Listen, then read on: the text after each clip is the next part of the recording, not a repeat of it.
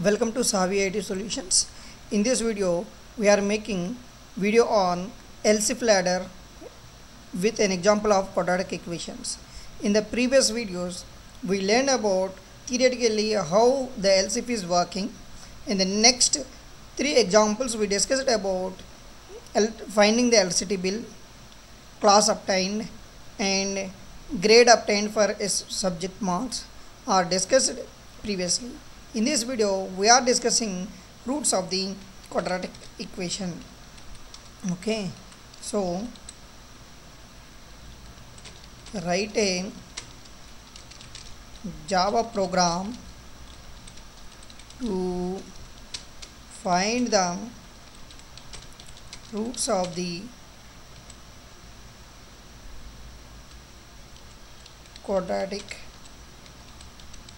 equations. So here we are finding discriminant okay? So already we discussed theoretically what exactly it is. So here I am not mentioning anything only question implicates. And while implementing it you can understand better understanding how it works okay? Initially we import utility class for reading input. So next one is root QUA DRA quadratic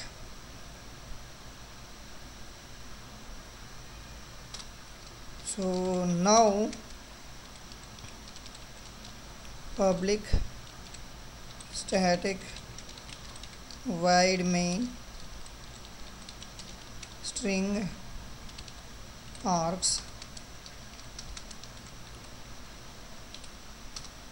okay here we need to create an object for scanner class. Ac is equal to new scanner of system. So after that what input we need to read?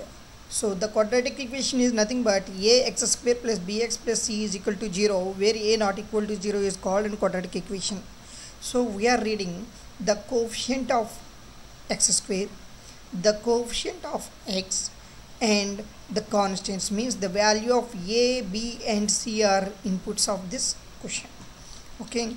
So we are giving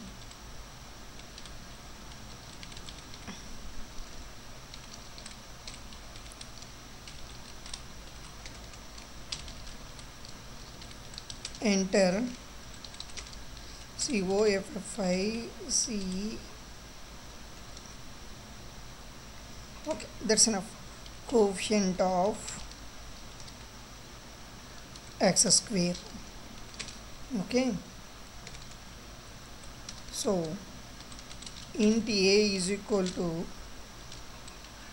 sc dot next int similarly the second part is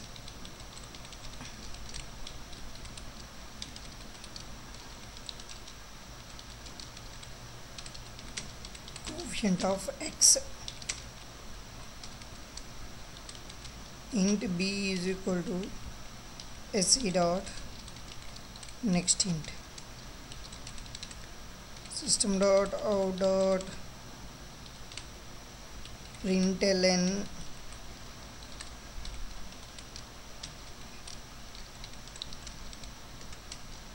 enter the constant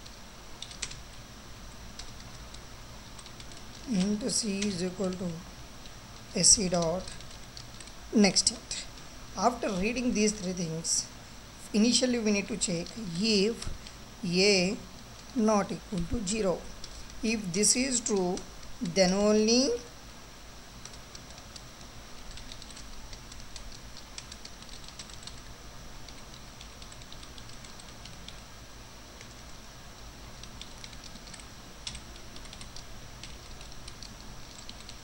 the equation is linear not quadratic. Okay. So a not equal to 0 then we entered into it and we find d is equal to b into b minus 4 into a into c. Okay. So after we get if d greater than 0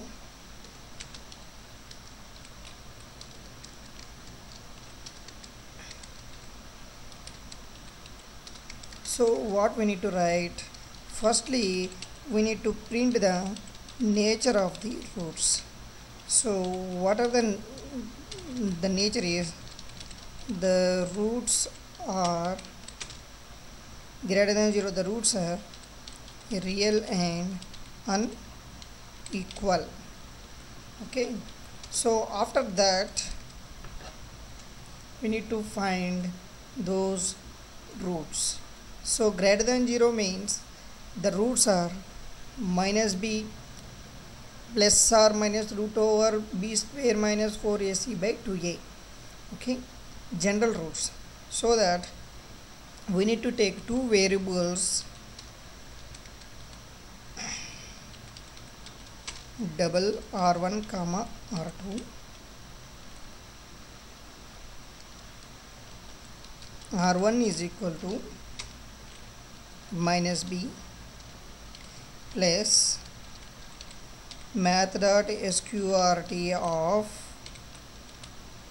d by 2 into a similarly r2 is equal to minus b minus math dot sqrt of d by 2 into a so these are the two roots we have so now we are printing those roots are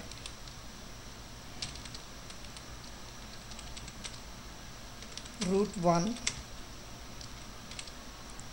r1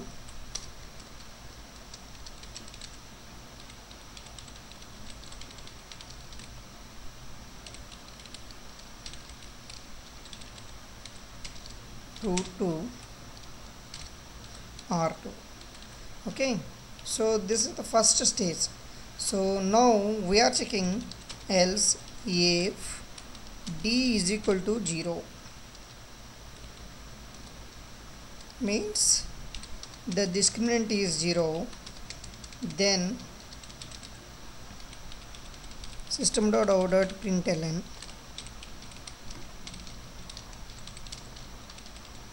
the roots are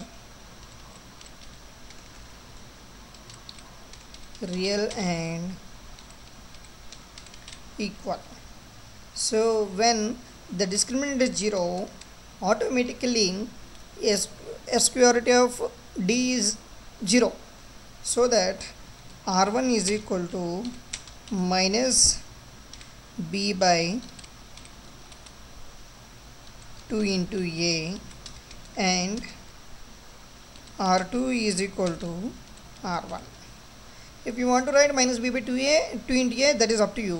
But uh, for compiling process I am writing like this okay? System dot out dot println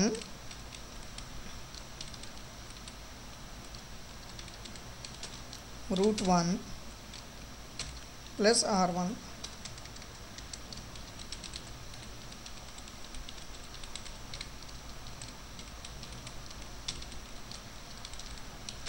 root 2 r2 so finally if it is not equal to 0 greater than 0 obviously it is else part that is less than 0 so when it is less than 0 the roots are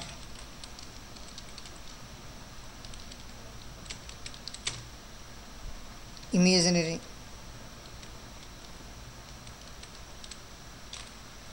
okay so now we need to find r1 is equal to minus b by 2 into a. And r2 is equal to sqrt of d by 2 into a. So now the roots are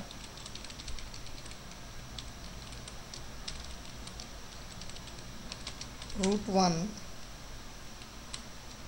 plus r1 r2 here plus i. Same way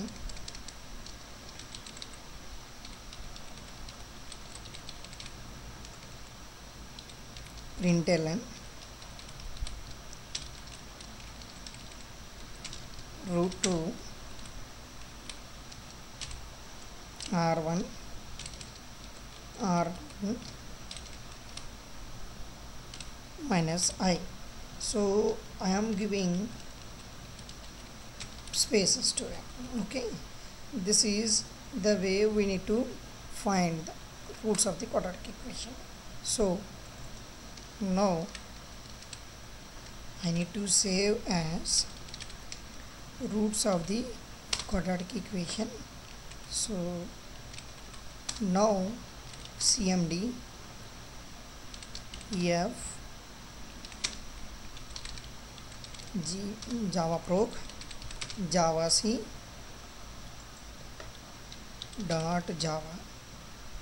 Oh so many errors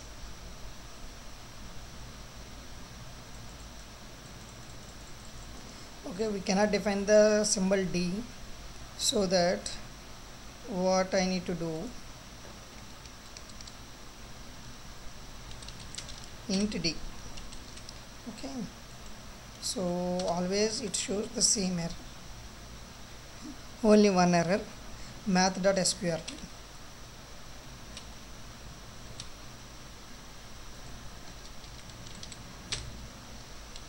okay no I hope no errors.